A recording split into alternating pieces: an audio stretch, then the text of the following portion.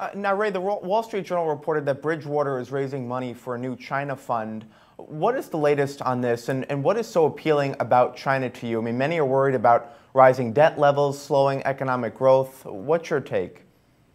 I've been going to China since 1984, long before they had any money, um, and I've been enjoying that. And over those periods of time, I've uh, built these wonderful relationships, and I've seen them from. Um, in 1989, there was a group uh, in China of uh, seven people who, when they didn't have a financial system, uh, were working out of a, a, a dingy hotel room, and that was for them to build the financial system.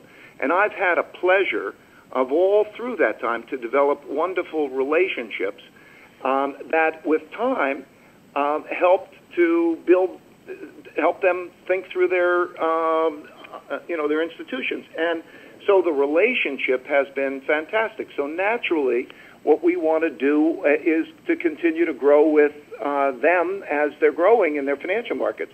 And the way they've opened up their financial markets and created um, capital market innovation over the last three years, really, I mean, it's been incredibly fast pace, means that they're, they have liquid markets which have depth. Um, and um, you know accessibility. So of course we're going to want to be part of that. China's debt levels is that a worry for you as you explore deeper into China?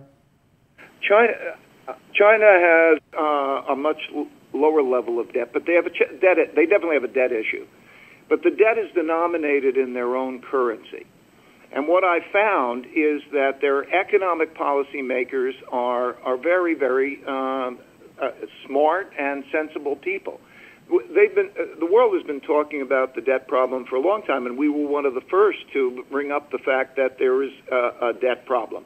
But um, the, when a debt is denominated in one's own currency, it's manageable the usual ways. In other words, you might extend the maturity of the debt. You might alter whose balance sheet it's on. You might um, have the interest rates uh, changed. You go through certain processes that we've been through to be able to manage that debt and, and there's, there, they've done an excellent job. I'm most importantly um, interested in the capabilities of the people who did it. We went through our particular debt problems. Every country does it. I'm, uh, I'm genuinely excited about the quality of, of the, the, leadership and in terms of practicality. They can get stuff done, and right. um, their reforms are a move toward, you know, sensible, uh, much more market-driven um, economics, but with uh, guidance. So eh, I, I see the innovation.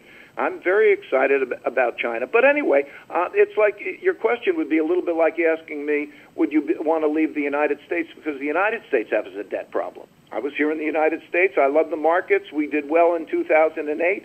In our business, the key question is whether you make the decisions correctly. Not there's not such thing as a bull market or a bear market. 2008 um, because we anticipated the crisis, we right. did well.